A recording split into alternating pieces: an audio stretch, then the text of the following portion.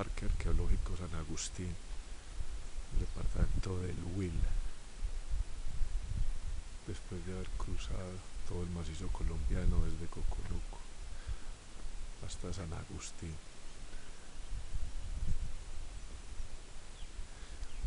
La primera, ya dentro del parque.